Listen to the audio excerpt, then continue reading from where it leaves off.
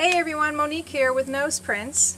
We had an inquiry about one of our videos. Tuna had had knee surgery, now it's about two years ago, and they wanted to know how she did because their dog was just about to go through the same process.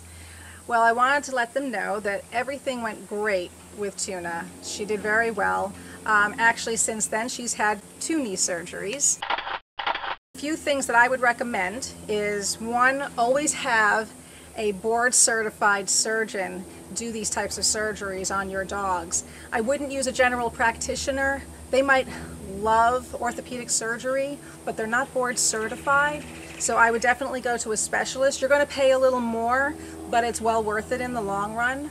The other thing that I would recommend to speed up the healing process is doing some massage therapy. That really helped Tuna on her her last knee surgery. She definitely recovered faster than she did with her first surgery, not having any massage therapy. The other thing that we threw in there, because we offer it at the hospital where I work, is cold laser therapy. That was amazing too.